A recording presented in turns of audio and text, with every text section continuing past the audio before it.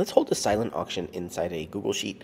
We're going to have items listed here. We're going to have a starting bid, and we need two things. We need someone, we need to show whatever the highest current bid is, and we need a link to bid, which we're going to use with Google Forms. So we have this Google Sheet, we have all the items and all of the starting bids, but let's create a form, a tools, create a new form. We'll call this silent auction bid. We'll call the first thing the item, right? Whichever item over here that we want to actually bid on. And we want to grab whatever is the starting bid, but actually we want to get whatever the highest bid is. We'll copy this and we'll say bid. And this will just be two short answers. We might actually want to get whoever's name is bidding on it as well.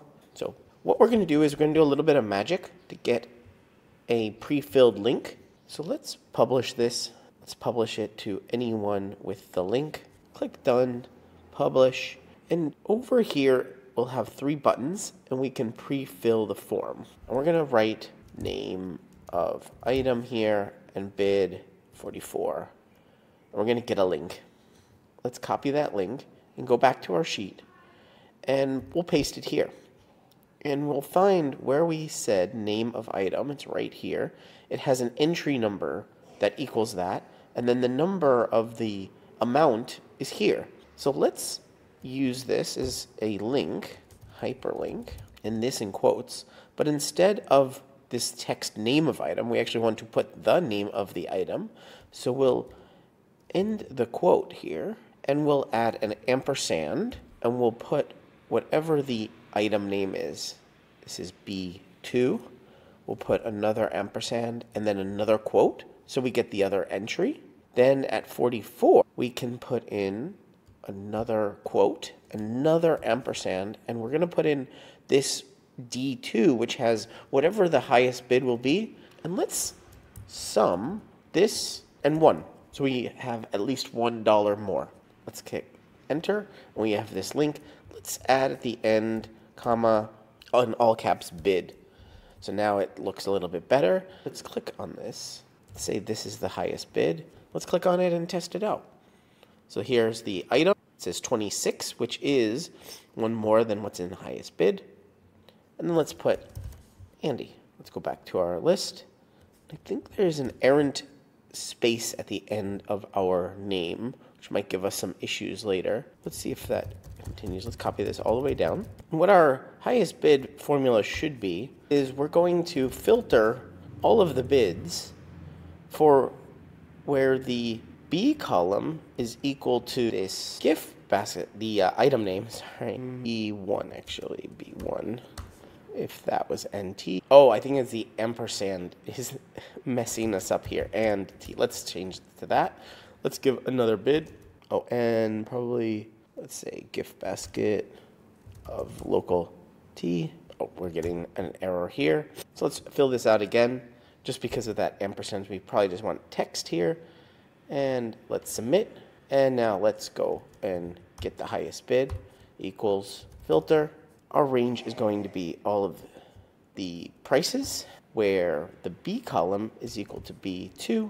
There, 26 is the highest. And if we copy paste this down, we'll see we'll get some NAs. But actually we want max, wrap that, and say if NA here, we'll just bring in the starting bid. And there, we have now either the highest bid or the starting bid. Let's get all of the other characters out of here so this works. Mystery, box of snacks. Let's see if this works for babysitting. Yeah, it's the whole thing. 26. Let's say mark bids on that. And now we go back and we see that that is the highest bid, 26 now. Let's see, lawn mowing.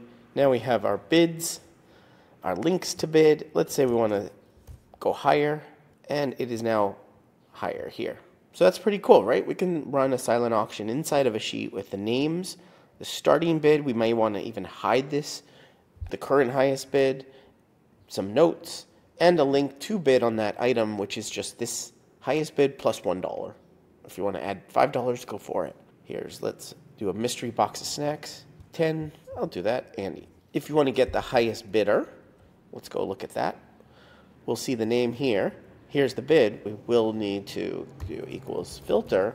The D column where the B column is equal to B2 and the C column is equal to the D2. We might get some NAs. Oh, that actually is blank here. So we get some NAs, so we'll say if NA, we'll just make it blank.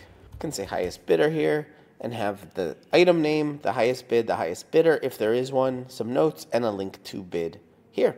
Isn't that cool? You're watching Better Sheets here on YouTube. Make sure you check out this video or this video and subscribe right now to get more tips, tricks, how to's, get more out of your Google Sheets than you ever have before.